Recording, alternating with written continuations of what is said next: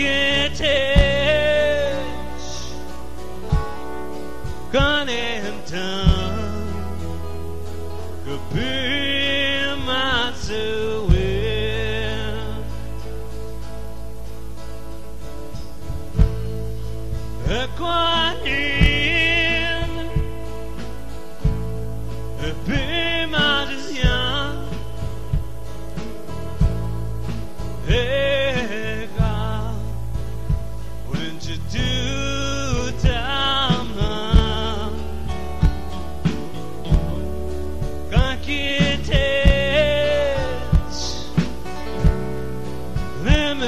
Limassol,